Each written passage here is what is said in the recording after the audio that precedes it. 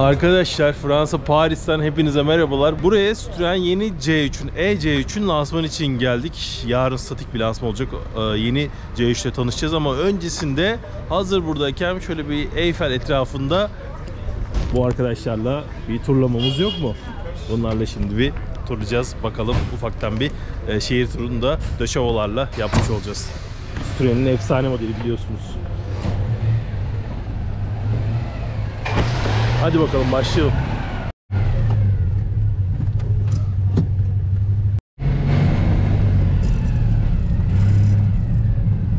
Arkadaşlar bayağı eski araç biliyorsunuz.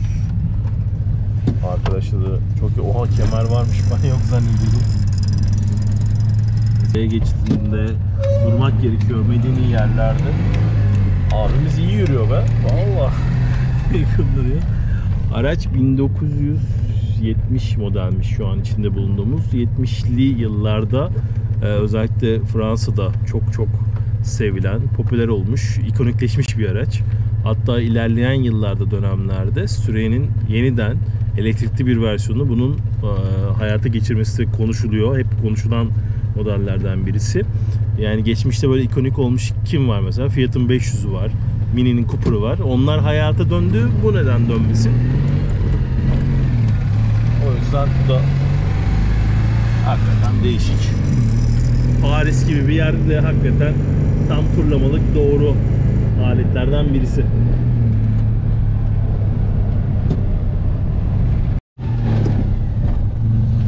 E buraya kadar gelmişken Eyfel'le de bir fotomuz olsun değil mi?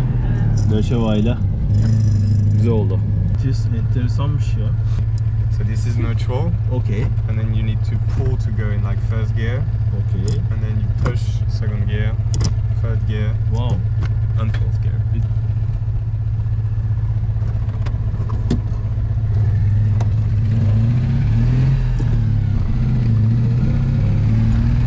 Evet arkadaşlar döşevolarla minik bir Paris turu yaptıktan sonra Eyfel'i de arkama aldım artık. Bir dinlenme vakti bizim için biraz uzun süren bir gündü. Uçuşta rötar yedik. Uçuş uzun sürüyor. 3,5 saat falan sürüyor. Neyse yarın olsun ve yeni C3'te hep beraber tanışalım.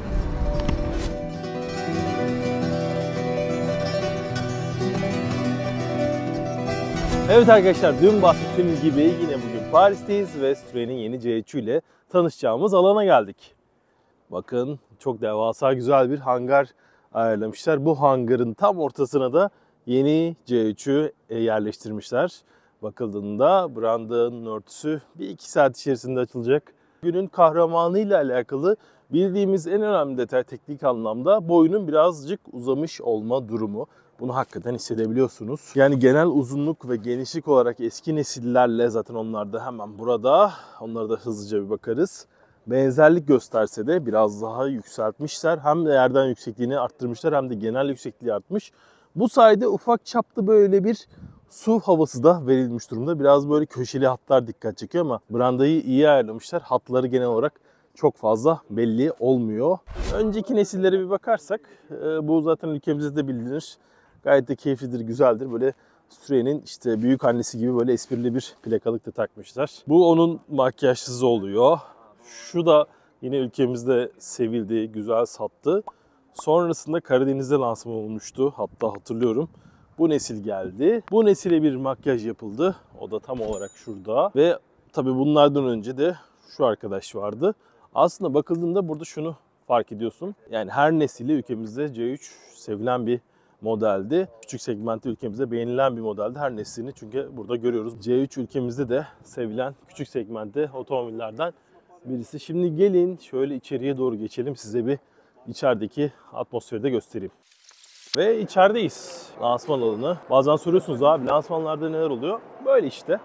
Atmosfer dün deşovalarla zaten Paris turu yaptık. Eyfel'i gözlemledik. Gayet keyifliydi. Bu sıfır kilometresi bakın. Müthiş görünüyor. Gerçekten çok güzel görünüyor. İçerisi falan bayağı başarılı. Burada çekim yapan başka bir arkadaşımız var. Onu şey yapmayalım. Çok çok güzel görünüyor. Yine Citroen'in küçük segmente yer alan kullanışlı diyebileceğimiz pratik bir otomobili. Zaten hani C3 segmentinde geçmişten gelen diğer modelleri de burada sergiliyorlar.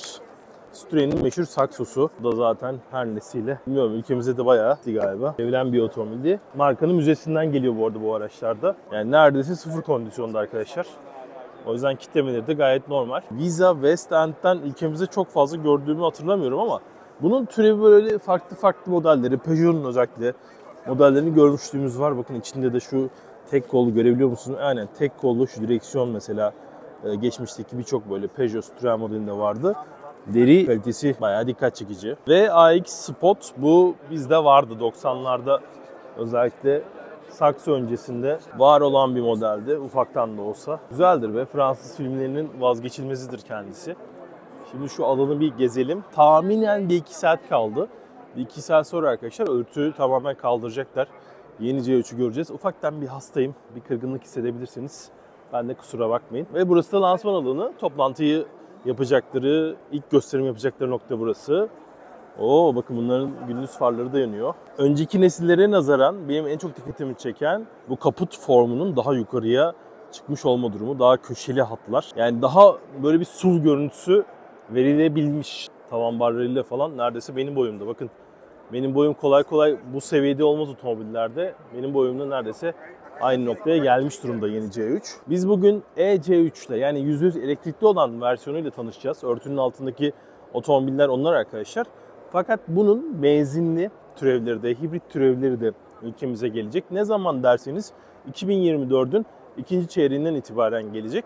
Ee, bu elektrikli versiyon ve bu otomobilin bu arada platformu PSA grubunun bugüne kadar kullandığı işte küçük sınıf segmentte kullandığı otomobillerden farklı. Yani ilk etapta insanın aklına acaba Corsa'yla ya da 208 ile aynı platforma sahip mi gibisinden sorular gelmiyor değil.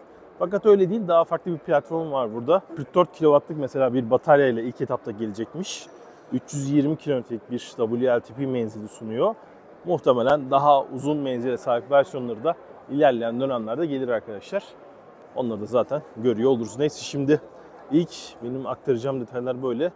Ufaktan artık lansmanın gelmesini bekleyelim. Lansman vakti gelsin ve şu örtüleri kaldıralım. Şu arkadaşla bir tanışalım.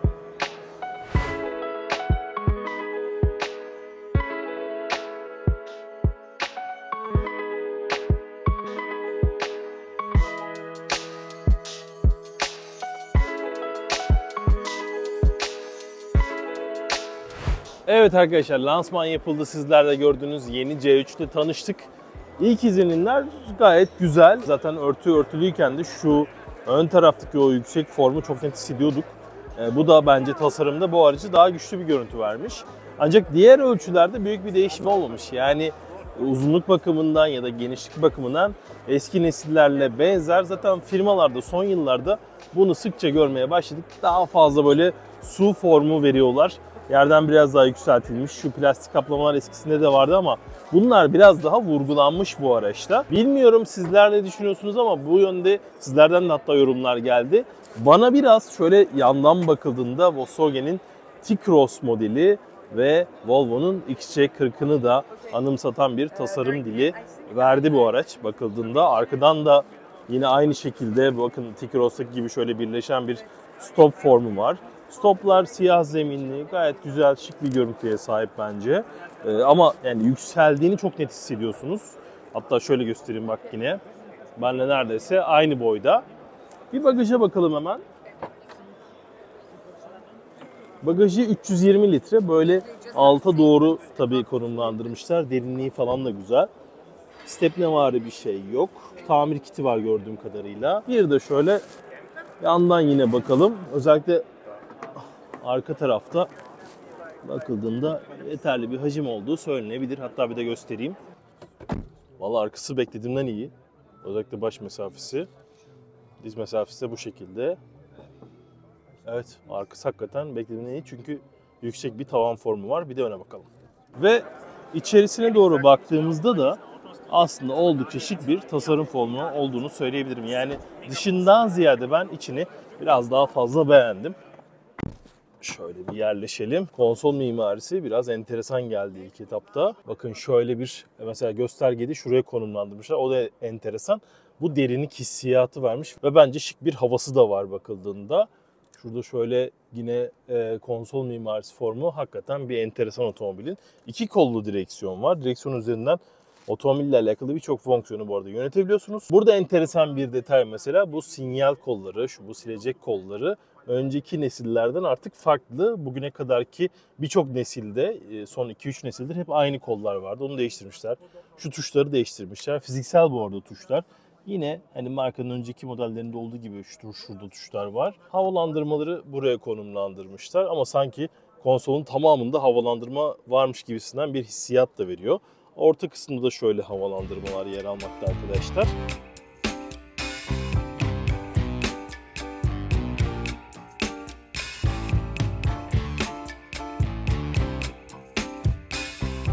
Bu arada sizce de C3'ün içerisi özellikle sürücü göstergelerinin konumundan dolayı biraz Tempra'ları da andırmıyor mu arkadaşlar? Yeni C3'ün teknik detaylarına da birazcık bakarsak eğer yeni Citroen E-C3 320 kilometreye kadar WLTP sürüş menzili sağlamak için 44 kWh lityum ferrofosfat bataryayı kullanıma sunmuş durumda. 100 kW DC hızlı şarjı destekleyen piller ile 26 dakikada %20'den %80'e şarj olabiliyor.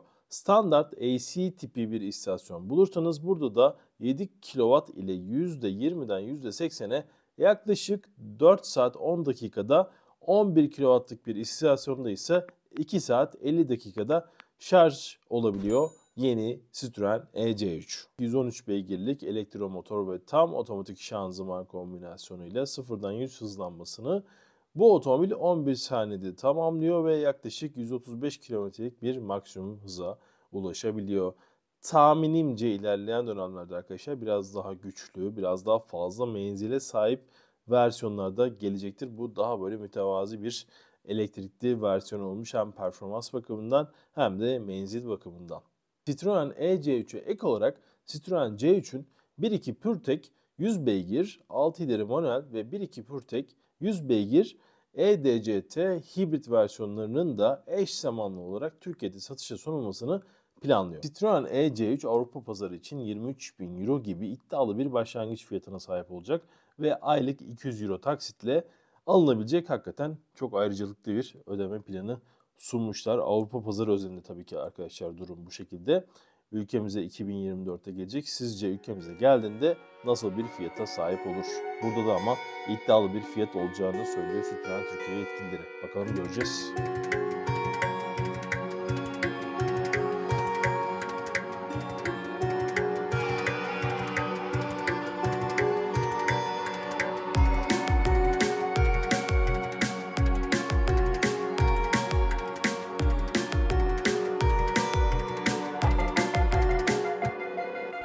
Şu kısmın hemen altında da yine iklimlendirme sistemini yönettiğimiz menüyü görüyorsunuz. Bunlar da yine fiziksel tuşlarla yönetiliyor.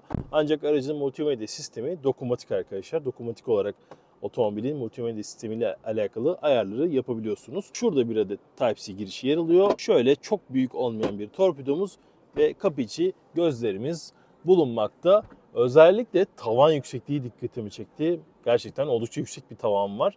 Bu durumda aracın içinde gerçekten yani bir B hatchback standartları için ferah bir atmosfer yaratmış durumda C3'te arkadaşlar.